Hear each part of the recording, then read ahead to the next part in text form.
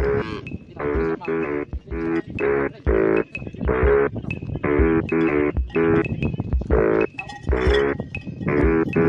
you.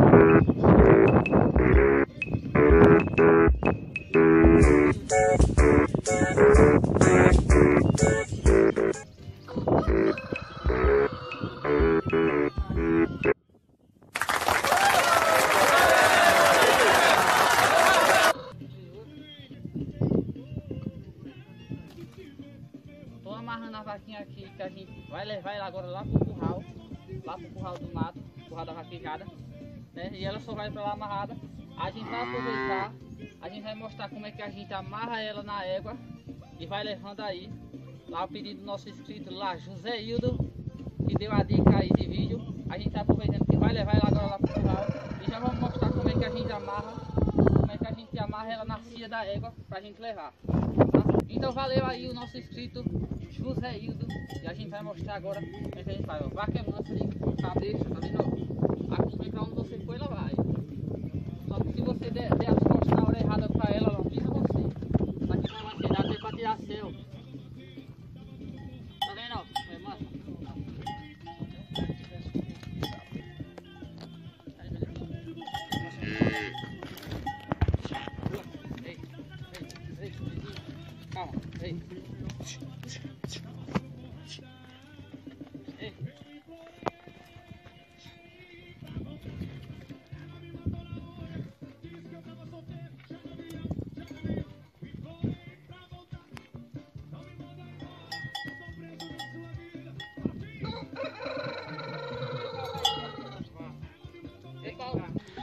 Aqui, ó, aqui a gente pegou a vaca no cabresto e aí passamos, passamos a volta da corda ao redor da égua.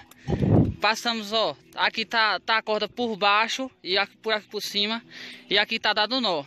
Aí tá no jeito de segurar a reis e a reis ir pra onde o cara quiser. Puxa aí pra ver se ela vai acompanhando. Essa é a terceira vez que a gente pega essa vaquinha na corda. Ó, hoje já tá mais mansinha. A última vez ela deu muito trabalho. A última vez a gente nem conseguiu levar ela pro curral. Aí, prontinho, ó. Fez isso aí. A reis está amarrada, você pode levar ela para onde você quiser. Agora a gente vai abrir a porteira do curral e vamos levar a vaca lá pro curral do mato aí, o vaqueiro Silvan. Vamos levar a vaca lá pro curral do mato. Bora, vai saindo aí pra ver. Pra ver se a vaca sai tranquila. Aí, ó, saiu ela queria correr. Deu uma avançada. Mas ela vai assim, ô vaca, belezinha, ô. É vaquinha. Hoje, hoje ela já tá mais domadinha, mas se facilitar muito. Hoje ela tá domada. Ali desfila, ó.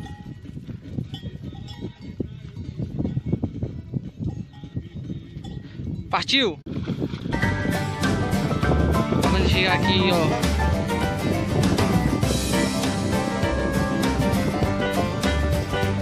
Atravessando o grande rio. Que não. Graças a Deus a chuva aqui no sertão baiano foi boa, viu?